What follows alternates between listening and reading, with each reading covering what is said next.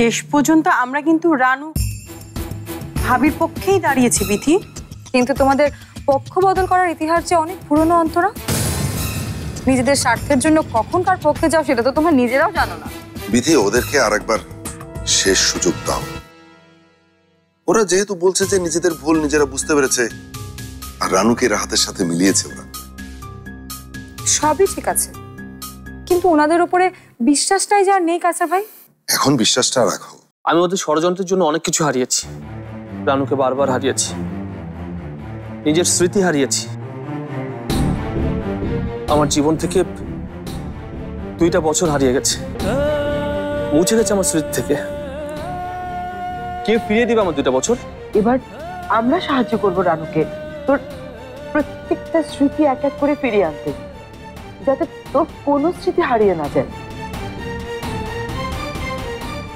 আমি এবার তোর সেই ছোটবেলার বড় আপাটা হওয়ার চেষ্টা করব। যেটা এর আগে আমি কখনো চেষ্টা করিনি। আর একটাবার সুযোগ দে ভাই। তোর এই সব কিছুর জন্য শুধু কিন্তু আমরাই দায়ী না ভাই। তোমরা যত কথাই বলো না কেন, এই বাড়িতে আর আমি তোমাদেরকে দেখতে চাই না। আজ এই বাড়ি ছাড়লে আমাদের আর কোনো আশ্রয় নেই থাকার। আমরা তখন কোথায় যাব ভাইয়া? তোদের যথেষ্ট বয়স হয়েছে। নিজেদের জন্য একটা ঠিকানা খুঁজে বের করার। একটা ব্যবস্থা নয় করে নিস। কিন্তু লোকজন যখন জানবে যে রাহাত রহমানের মায়ের পেটের আপন দুই বোন একটু আশ্রয়ের জন্য রাস্তায় রাস্তায় ঘুরে বেড়াচ্ছে তখন কিন্তু সম্মান বাড়বে ভাই। আমার সম্মান নিয়ে না। তোমাদের ভাবতে হবে না। অনেক অসম্মানিত করেছ তোমরা আমাকে। চলো ভাবি ভাবি প্লিজ তুমি আমাকে আশ্রয় দাও, ভাবি প্লিজ তুমি আমাকে ফিরিয়ে দিও না। আমি তো ছোট, আমার এখন বিয়েই হয়নি। বাইরের দুনিয়া সম্পর্কে আমি কিছুই জানি না। আমি তো সবসময় আদরে আদরে বড় হয়ে উঠেছি। আপনি নয় চলে যাক, আপনি চলে যাক হ্যাঁ?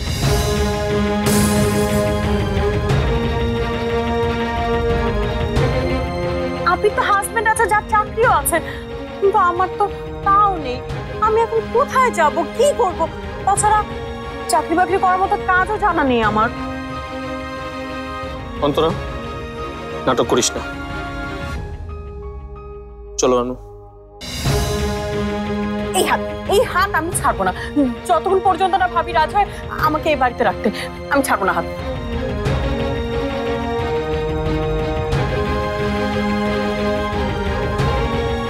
অন্তরা তুমি কি একটু বেশি অ্যাক্টিং করছ না? ভাবির ছোট বোন হয়ে থাকব আমি এই বাড়িতে। ভাবি যখন যা বলে আমি সেটাই করব। আপনি আপনি আমার কেউ না। কেউ না আপনি আমার। আপনি আমার সবচেয়ে বড় শত্রু। যান কাইসার ভাইও যান আমি যাব না আমি যাব না আমি যাব না। রানু চলো। ওর এসব কথা শোনার সময় আমাদের নেই। আমার একটু বিশ্রাম নিতে হবে।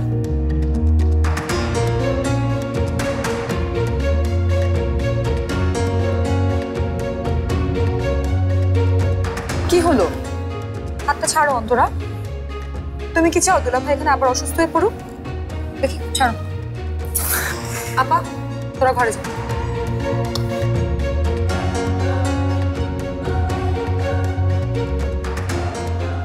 অন্তরা আমি জানি আপা, তুই ওদের মাফ করে দিতে চাস, তাই না? শেষবারের মতো আমি ওদেরকে একটা সুযোগ দিতে চাই। আমি জানতাম তুমি আমাদেরকে একটা সুযোগ দেবে। আর কেউ না জানো তুমি তো জানো, তোমার জন্য আমরা কি করেছি। সেটা সেটা হবে না আপা ওরা মাফ পাওয়ার যোগ্যই না। রানু চলো।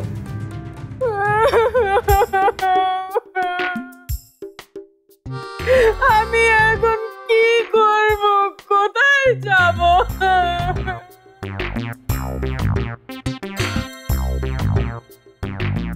চলো অনিমা।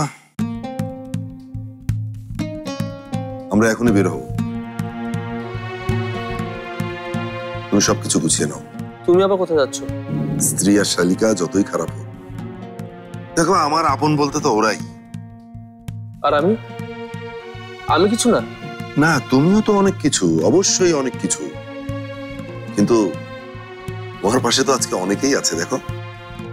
কিন্তু অনিমা আর অন্তরার পাশে কিন্তু কেউ নেই। তাই আমাকেই তো আপনি ভুল করছেন কাসার ভাই?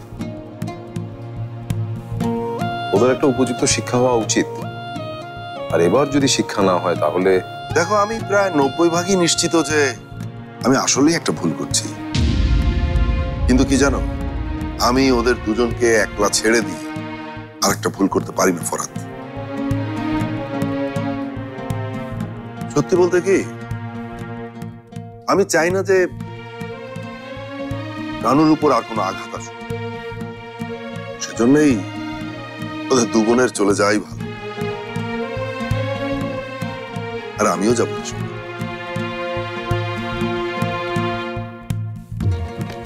অন্তরা অন্তরা, তোমার সবকিছু গুছিয়ে নাও।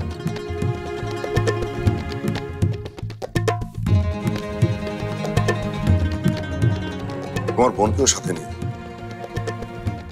আমাদের একটু জলদি বেরোতে হবে।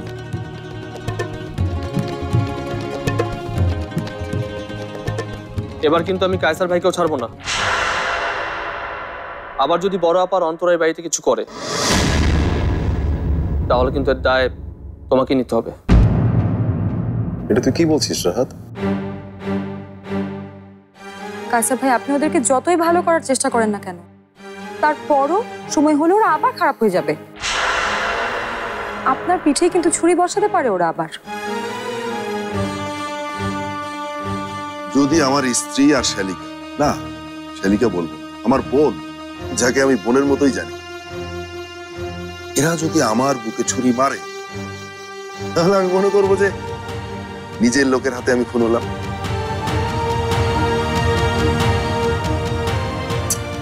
এটা কোনো সাহিত্য না কাইসার ভাই। আর এতটা আবেগে প্লিজ গা ভাসাবেন না। পরিবার তো এমনই ভরা। দেখো এখানে বিভিন্ন রকমের মানুষ থাকে। আর সবাইকে নিয়ে কিন্তু পরিবারটা সাজাতে হয়। আমি আপনাকে যথেষ্ট বুদ্ধিমানই মনে করি ভাই কিন্তু আজকে আপনার এই সিদ্ধান্তের সাথে না আমি কোনোভাবেই মিলাতে পারছি না। ভয় পেও না বিথি। দেখো এবার তো আমি ওদের দায় নিচ্ছি। কিন্তু আমি যখন আর ওদের সামলাতে পারব না আমি বলব আমি বলব যে ওদেরকে এবার বাড়ি থেকে বের করে দাও।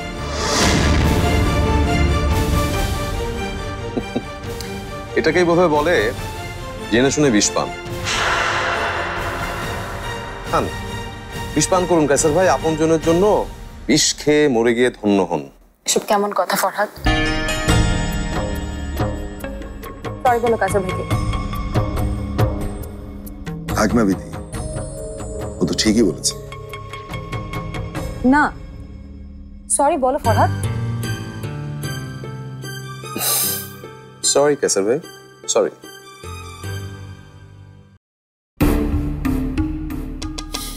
চল কেটে পড়ি আপনি এই সুযোগ।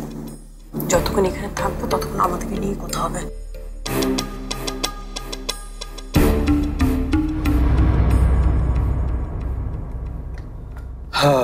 চলো তাহলে। ঠিক আছে চল। খারাপ লাগছে তোমার? আমি একটু বসতে চাই।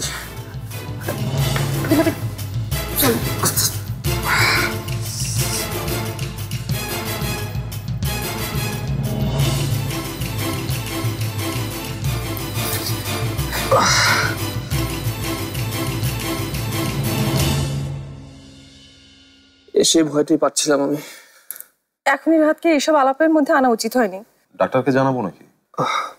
না না ঠিক আছে আমি। একটু পানি। আমি নিয়ে আসছি। কোথায় ভাবলাম আজকে সবাই মিলে আমরা অনেক গল্প করব, আড্ডা দিব। সেখানে কিনা তোমাদের পারিবারিক ক্যাচাল শুরু হয়ে গেল। আমার আর ভালো লাগে না তোমাদের এসব পারিবারিক ক্যাচাল। এবার একটু আমি তোমাদের সবার মুখে হাসি দেখতে চাই। আর কায়সার ভাই, ওনাকে এরকম গম্ভীর মুখে থাকতে দেখলে মনে হয় যেন কেউ মারা গেছে ওনার। উনি নিজেই মারা গেছেন শ্যালিকার হাতে।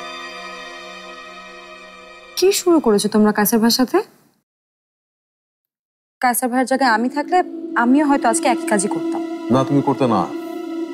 মানে?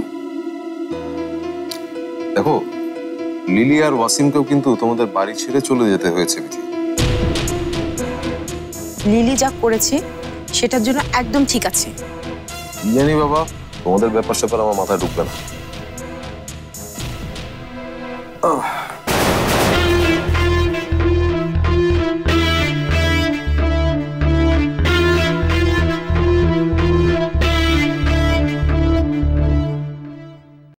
তাহলে কিছু হবে না আজকে?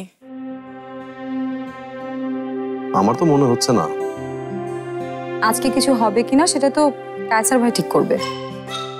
হ্যাঁ হ্যাঁ কায়সার ভাই সবচেয়ে ঠিকঠাক লোক এসব ঠিক করার জন্য।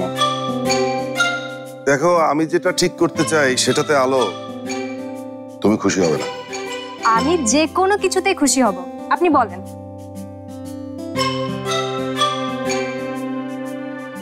আমি ঠিক করতে চাই তোমার বিয়ে। সাথে আমাদের অন্তর অন্তরারও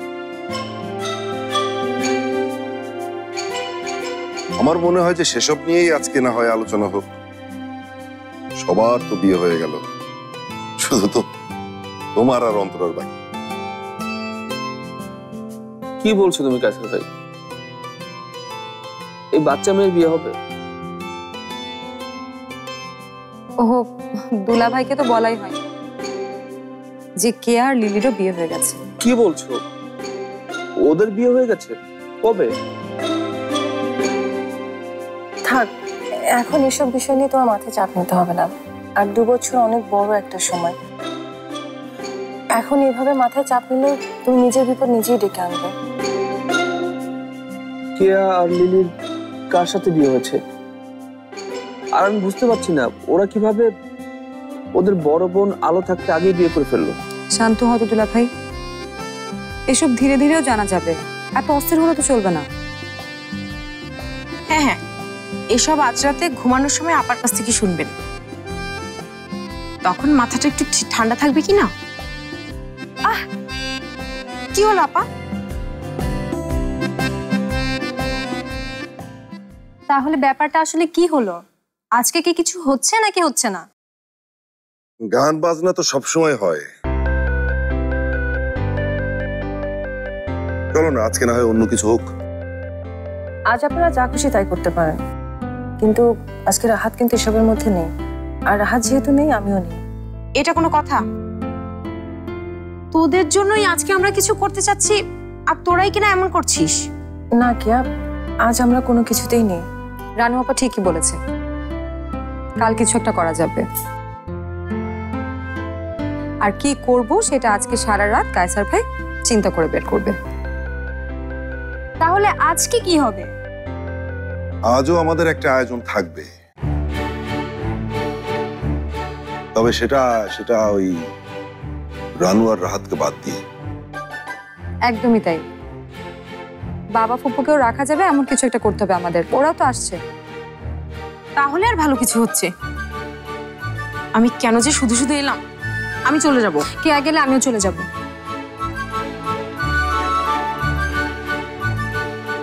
কেয়া যাচ্ছে? কেয়া না হয় সজলের টানে চলে যাচ্ছে। কিন্তু আলো তুমি কেন? আমার একটা বই শেষ করা বাকি আছে এখন। সজলের জন্য না। আমি যাচ্ছি আপনার জন্য। কেন আজকে ভালো কিছু করছেন না? আলোপা, তুই না গেলে আমি একাই চলে গেলাম। তোমরা কেউ কোথাও যাবে না। কেউ যাবে না। আজকে এখানে ভীষণ রকমের মজা হবে। মজা চাই না? কি? মজা চাই তো? তাই হোক। রহস্য না করে ঠিক করে বলেন তো কি হবে?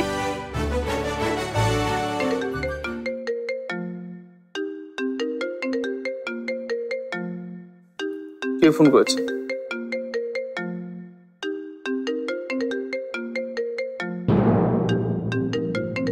পারিয়া নাকি? আমি ধরছি। হ্যালো? এতক্ষণ নিশ্চয় বাড়িতে চলে গেছো তাই না রানু? কেন ফোন করেছ ফারিয়া? কেন গো? ব্যস্ত ছিল না রাহাতের সাথে একান্ত ব্যস্ত? একদম বাজে কথা বলবে না। কেন ফোনটা আমাকে দাও আমি কথা বলছি।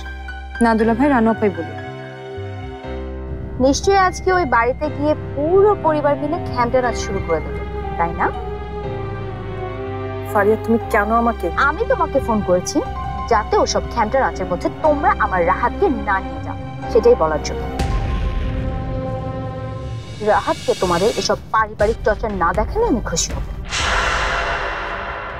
আচ্ছা কি বলছে ফারিয়া এত? আর হ্যাঁ আরেকটা কথা। আমি আর মা আজকে বাড়িতে ফিরবো না। তাই আমাদের জন্য রান্না বান্না করার কোনো দরকার নেই। তুমি আমাকে এসব কথা কেন বলছো ফারিয়া? কি বলছো? কারণ এখন থেকে তো রান্না বান্না তোমাকেই করতে হবে, তাই না?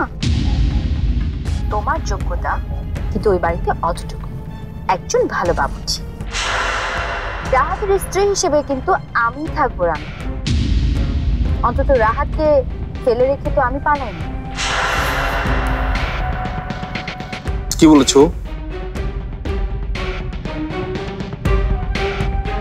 নিশ্চয়ই তোমাকে আজে বাজে অনেক কথা শুনিয়েছে।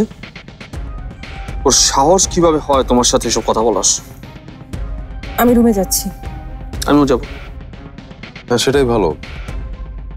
আর শোনো ফারিয়া ফোন দিলেও তোমরা আর ধরো না।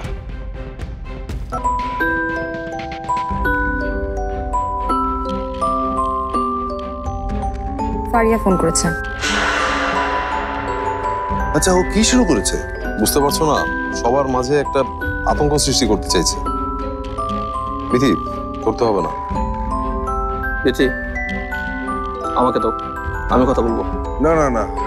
তোমার এই অবস্থায় তো কিছুতেই না আবার কেন বেহার মতো আমাকে ফোন করেছ ফারিয়া? বেহায়া তো একটু আছি। এটা তো পুরনো খবর। কি চাও তুমি? রাহাতকে। পারবে দিতে কি বলছো ফারিয়া? রাহাত আমার ছিল। আমার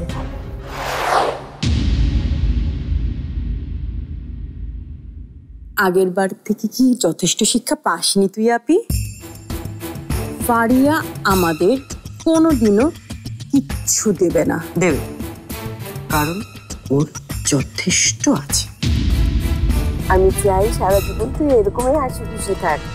তুমি যে আইডিয়াটা আমাকে দিয়েছ সেটা বাস্তবায়ন করতে পারলে এমনই হাসি খুশি থাকব। আমি আর আমার রাহাত। আর রানু থাকবে? ওর কোনো চিহ্নই আর থাকবে না তোদের জীবনে। সুযোগ পেলেই তো ফারিয়া আর ফারহান আন্টির সাথে তোমার গোপনে কথা হচ্ছে। সেটা কিন্তু আমি জানি। আচ্ছা কি কথা হচ্ছে? বলো। না না ওদের ঢাকায় যাওয়া নিয়ে তো কিছু না। তাহলে?